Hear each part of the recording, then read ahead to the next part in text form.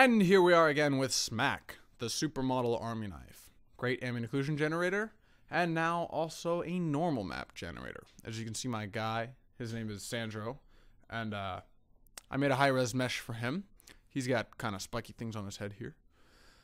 Big heart on his chest because he's such a softy, and you know, we love him so much. So, all right, we're gonna go ahead and open up the normal map generator, show you how easy it is. All you gotta do is specify the low res mesh and specify the high res mesh and click generate. There you go. It's off and running. It's taking the detail from the high res mesh and baking it on to the low res mesh right in front of your eyes.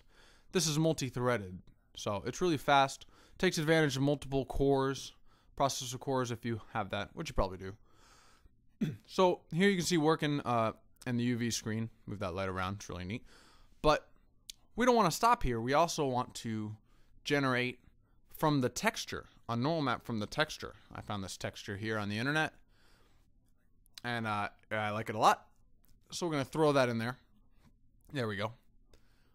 And uh, in order to generate a normal map from the texture, all we have to do is hit this button. And it will gener generate a normal map from the texture and combine it with the normal map from the high resolution. It will put the two together into one normal map. There you have it right there. But this guy looks like he's got like leprosy or something. So we're going to turn down the high frequency details here. There we go. That's a little better. Now, let's see what happens when we turn up the low frequency details. Ah, now he looks like he's got like lupus or something. That's pretty cool. I'm going to keep that. All right, one thing left to do, get rid of that, is open up our material properties window. There we go. And we can tweak the uh, material properties here.